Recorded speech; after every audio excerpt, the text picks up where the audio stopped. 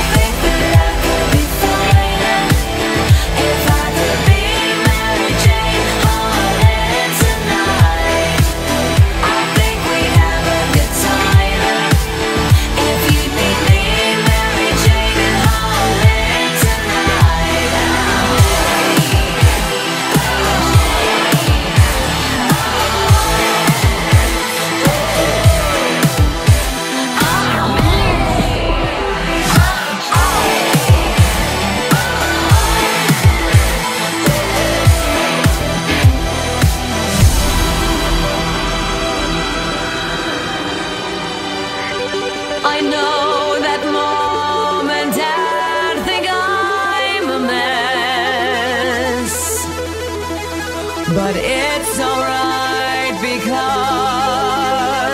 I am rich as pigs.